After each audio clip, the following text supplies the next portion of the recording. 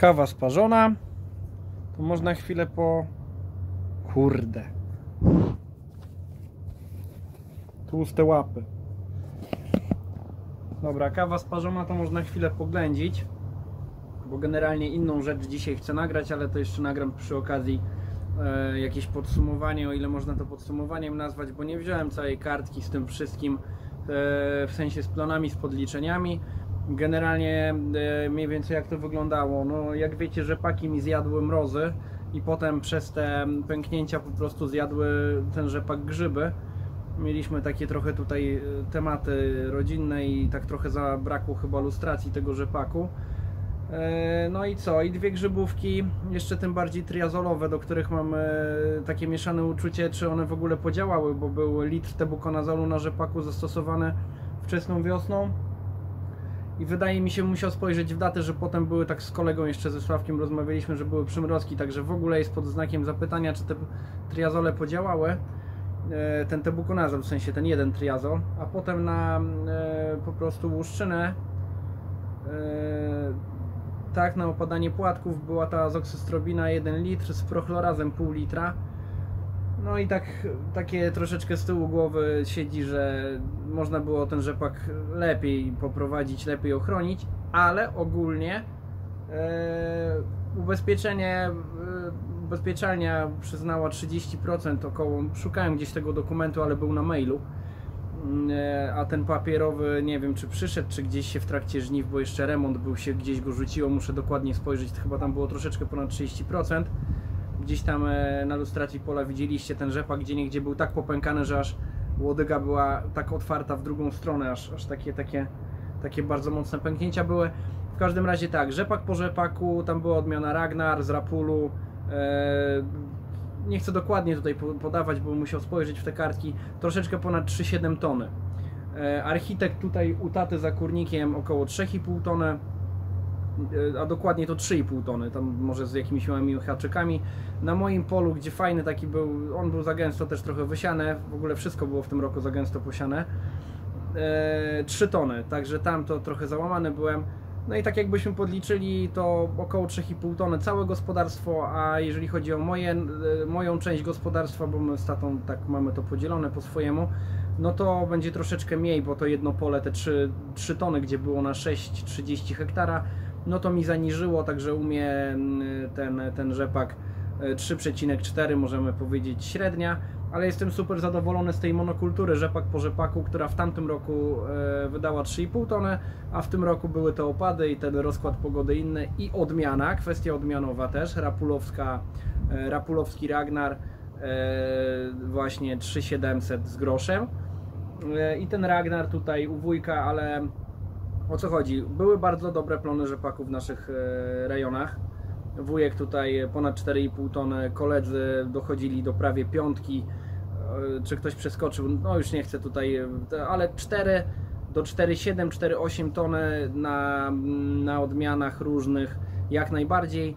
Architekt akurat no tutaj e, pożarła go głównie twardzikowa i sucha zgnilizna też.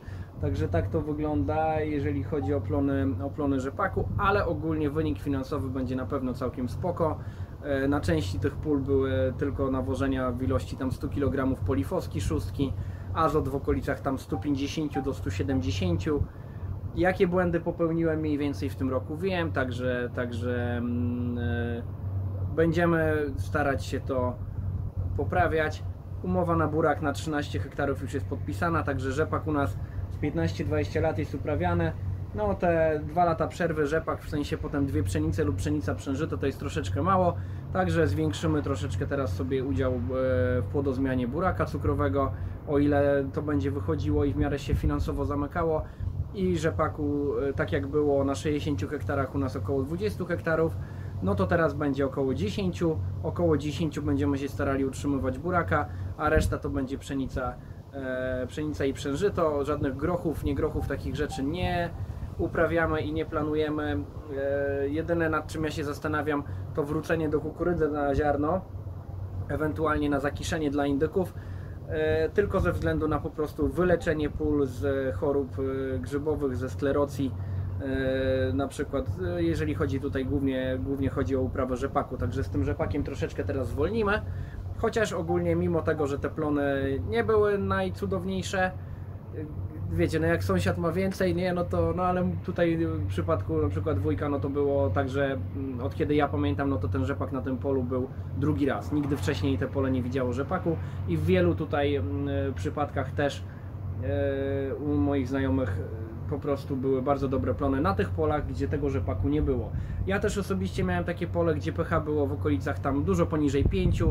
Kupiłem to pole, odkwasiłem na szybko wapnem granulowanym, jakimś takim, nie wiem, omyja, może to był jakiś kartpil, coś, coś takiego, plus wapmak do tego i w pierwszym roku plon na bardzo zaniedbanej ziemi wyniósł 4,7 tony, także e, jeżeli nie ma tych chorób, no to tak to wygląda. Jeżeli chodzi o zboża, jeżeli chodzi o zboża, no to udało mi się na Tytanice bardzo za, za dużo, za gęsto wysianej po zazielenieniu, no ale tak powychodziło jak się agregat ustawiło i się jechało, no i e, w sumie może i dobrze, może jeżeli by było, było inaczej, e, no to może ten plon by był niższy, no ciężko powiedzieć.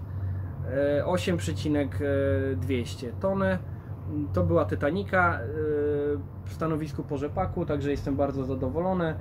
Titanica w takich tutaj na takich polach e, pszenica po pszenicę ponad 7 ton, także bardzo fajnie wypadła. Tyle, że to nasiono jest takie niewyrównane, dosyć drobne, no przez to też, że za gęsto było wysiane na pewno. Mm, no i tak ciężko powiedzieć, czy ten rzadszy się w tym roku by nam wyszedł na plus, czy nie na plus. No ja na pewno, tak jak Wam mówiłem, będę ograniczał te, te ilości wysiewu, no ale poniżej tych tam 350-360 roślin na pewno nie będę schodził, mimo wczesnych terminów siewów już koniec tutaj widzę. Dzisiaj święto, ale wiadomo, przy zwierzętach trzeba poogarniać. Ja zaraz też idę do kurnika. Także, także tak to wygląda. E, jeżeli chodzi o euforię, euforia w okolicach 7300-7400 na bardzo słabym stanowisku. Też bardzo gęsto wysiana.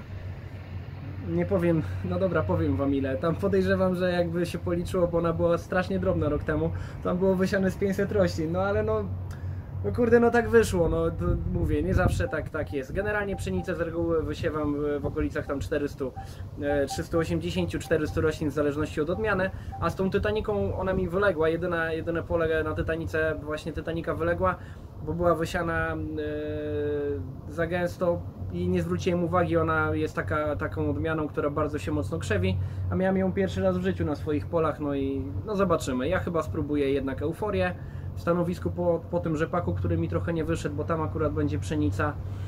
Eee, no, no a tutaj po pszenicy teraz będzie burak.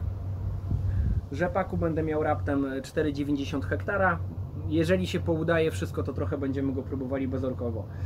Eee, także, także pszenicę e, tak 7300 czy 7400, ale nie wiem dokładnie ile ta euforia, bo wysypywałem ziarno i nie zamknąłem z tyłu ucha od przyczepy, od, od D47 i na podwórku się okazało, że z rogu po prostu domknęliśmy jakąś rurką. O, tamta rurka, tamta rurka stoi przy rowerze.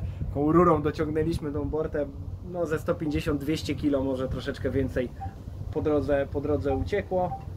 Eee, miałem generalnie bardzo duży problem z ustawieniem kombajnu. Eee, gen, tak, bizon jak bizon. Bizon się sprawował w miarę, w miarę przyzwoicie, był problem ze sprzęgłem pochyłego. E, do tego sprzęgło e, stopnia to było wypracowane już i pracowało, że słuchajcie, urwało ten kołnierz od nakrętki, którą się dokręca i, i po prostu tak jechałem ileś tam czasu, ten kombajn raz się zapchał, drugi, no to odepchałem tym, tym silnikiem hydraulicznym. Kurczę, aż dopiero patrzymy, bo już nie szło kosić, a tam urwało urwało właśnie ten kołnierz od nakrętki, od, od po prostu pewno spracowania już tego materiału. No i wiadomo, sprężyna te parę tam z centymetr pewno on będzie miał. Odsunęła się i, i po prostu sprzęgło nie ogarniało i się powyrabiało to wszystko, więc za rok będzie trzeba to pospawać. E, jeden klawisz pękł, no to go pospawałem, jakoś tam go pogliglałem, bo tego spawaniem nie można nazwać. To wszystko zardzewiało, ale tam migomacikiem trochę mu poprztykałem i klawisze będzie trzeba za rok przejrzeć, bo jeden luz na boki trochę ma. No i z mojej winy myślę trochę, albo też i ze starości, no 6-7 lat wychodził, e, ten pas 3HB e, napędowy, czyli główny z tego koła od silnika na po prostu odrzutnik, tak, który przekazuje potem przez odrzutnik napęd na, na mocarnię. no to się próbował z niego zrobić 2 HB i zrzuciło go, ale też trochę z tym mojej winy, bo się śpieszyłem z poletka na poletko, z sieczkarnią musiałem dwa kółka zrobić, objechać. No i tak na pełnej praktycznie prędkości już tam delikatnie go włączyłem, może trochę za szybko, e, zbyt mało płynnie i no, na dużej prędkości się tego nie powinno robić, to no mój błąd, błąd.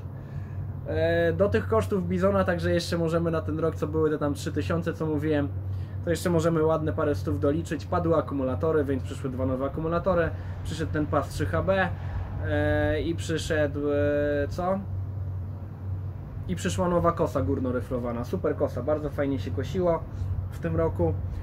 E, tyle, że był problem z ustawieniem. W tamtym roku nie dokończyłem żniw, tutaj sąsiedzi mi pomagali, e, bo urwała się drabinka na podsiewaczu i uszkodziła górne sito, e, a miałem sito rekordowskie założone, nie wiem czy wiecie o co chodzi, ja nie wiem jak filmy będę montował, bo mam dużo materiału. Tam jest taka długa łuska, i naprawdę super się y, czysto muciło na tamtym sicie i ten kombajn naprawdę dużo nie gubił moim zdaniem, bo miałem już Arkadię, rekordów w tym roku nie pobiłem, ale miałem Arkadię 8300, no ale to i tak jest y, bardzo dobre plony. No i to Arkadię dobrze się muciło, fajnie, super czysto. A tutaj po prostu tak, jak przymknąłem to sito, tak normalnie bym powiedział, bo jest zwykłe sito teraz założone, bo tego rekordowskiego nie było, a chciałem je kupić w trakcie sezonu, to kosztowało grubo ponad 1000 złotych Eee, także bardzo ciężko mi się muciło. Eee, bardzo brudno i bardzo dużo słomy leciało na, e, na sita. I tak z kolegą dzisiaj jeszcze rozmawiałem, że e, lepiej się kosiło już po rosie e, i faktycznie lepiej się kosiło. Mniej ten kombajn wtedy śrutował, ta słoma lepiej odchodziła na klawisze i tak dobrze odchodziła na te klawisze ta słoma, że zapchałem na klawiszach kombajn w sumie dwa razy z sieczkarnią, a raz no to przez też z mojej winy. Może kiedyś o tym powiem. Także generalnie no Bizon ogarnął temat, zaczął brać olej. Mam podliczone spalanie na te 40 tam 9 e, czy 50, bym musiał dokładnie policzyć, skoro 50 hektarów w tym roku zrobiłem. Liczyłem sobie spalanie, liczyłem sobie godziny mojej pracy, także mniej więcej e, jako kombajnistę. No niestety takiego typowego testu wydajności się nie dało zrobić dlatego że mm, po prostu no, różnie te pola były zaczynane. Jedno pole taty skończyłem, zaczynałem wieczorem po prostu już swoje i no nie dało się tak, że wjeżdżamy, na przykład robimy 4-6 hektarów, na rzepaku coś tam możemy przeliczyć, ale były drobne awarie, więc no to tak, takiego, takiego nie można tego podliczyć jako taki, czy powiedzieć, że jakiś test wydajności, ale mniej więcej spalanie, filmik postaram się zrobić yy, i i go kiedyś tam opublikować, jak będzie czas. No generalnie bardzo męczące żniwa, nie było żadnej przerwy deszczowej, czyli generalnie bardzo dobrze, no ale dodatkowo jeszcze y, dzieciaki trochę y, no małe, małe tak, no to, no to wiadomo jak to jest z noworodkiem.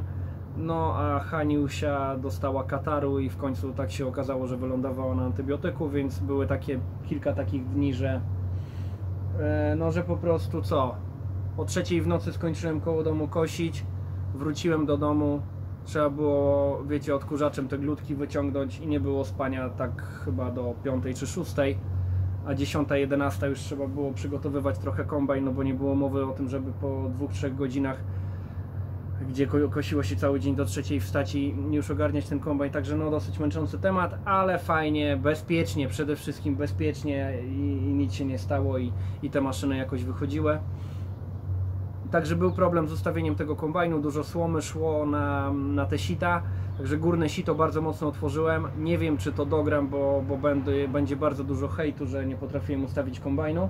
Natomiast jak przemykałem to sito yy, i próbowałem różnych ustawień, zmniejszałem obroty mocarni do poniżej 800, zwiększałem, yy, no klepisko no to było dociągnięte, zawsze jest dociągnięte na maksa.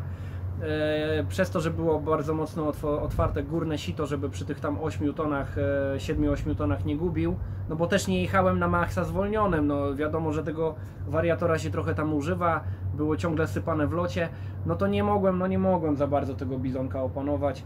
Jak otworzyłem natomiast górne sito, no to wiadomo, że zaczynała lecieć słoma na dolne sito i jeżeli to sito troszeczkę przymykałem na tym przężycie. O przężyto też właśnie plon przężyta 7970, przężyto meloman wysiane w obsadzie około 400. Nie, mówię dlatego około, bo mm, nie pamiętam, jakiś firma nie podała mi, od której kupiłem, to nie jest taka potężna żadna firma, nie będę tu nas mówił, nie podała mi y, przy materiale siewnym, może inaczej, nie mogłem, to była sobota 18, jakoś mi jeszcze przywieźli i gdzieś tam nie było wpisane chyba zdolności kiełkowania, więc tak nie wiem dokładniej, przyjąłem jakieś tam swoje, nie wiem, 95 chyba, bo, bo, bo nie wiedziałem, więc w okolicach 400 roślin. Jak przymknąłem dolne sito, to tyle szło na domot, że był jeden wielki śrutownik i y, dwa razy zapchałem przenośnik e, ziarno, przepraszam, kłosowe. Jak otworzyłem, no to leciał większy brud do zbiornika. Mamy wialnię, wialnia jest kupiona po to, żeby z niej korzystać. E, także to co, to, co pójdzie, to, to będzie przewiane. Może jeszcze Wam gdzieś tam pokażę, jak brudno jest pomłócone. Chyba, że będzie tak brudno, że nie, że nie pokażę. Także generalnie bardzo dobre żniwa i bardzo przyjemne. Fajnie, że iluś tam e, subskrybentów doszło w tym czasie. Ja nie jestem niestety w stanie publikować e, w trakcie teraz takiego nawału prac. Może jesienią późną, zimą wtedy. E, Nie wiem jak to robią chłopacy. Może po prostu są w stanie zostawić tą robotę, mają wydajniejsze maszyny albo po prostu zarabiają godne pieniądze z tego YouTube'a i dlatego są w stanie mm, jakoś, jakoś to opanować. Ja popracując 14 i czasami więcej godzin, 12-14, od czasu do czasu wiadomo i jakieś dożynki trzeba zrobić. O, zobaczcie, tutaj czapka jeszcze po dożynkach została. Także no i trzeba troszeczkę czasu poświęcić i na jedno i na drugie, także, także nie było mowy o tym, żeby publikować. Dzisiaj jest święto, więc dzisiaj można coś tam sobie nagrać, napić się tu kawusi. E, No a za chwilę idziemy do kurnika, trzeba zrobić dwie tony paszy i o to wszystko, prawda, dbać. A jeszcze chcę jedną część tutaj, e, tutaj dograć, także dziękuję za, za subskrypcję. Wiecie mniej więcej jak to wygląda, a filmiki takie, jest kupa materiału nagrana, jak publikowane to będzie, nie mam pojęcia, nie wiem kiedy znajdę na to czas, ale dzięki i mam nadzieję, że u Was też te plony były fajne i, i dobrze, to, dobrze to powychodziło. Także pewno znowu za mocno się rozgadałem. Trzymajcie się i jest dużo pomysłów na filmy, natomiast brakuje czasu na realizację. Zobaczymy, czy z bezorką coś powychodzi w tym roku. Trzymajcie się.